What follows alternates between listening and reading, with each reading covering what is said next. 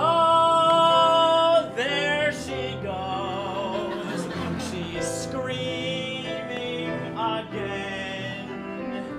If we start to lose, she starts to lose it too. But everyone knows that yelling's for men. So why can't my mom just leave me alone and sell hot dogs and cookies like the other moms do?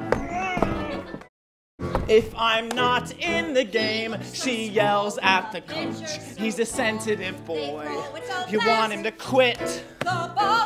Then if they strike me out, she yells at the good He's a delicate boy. Give him one more chance to have.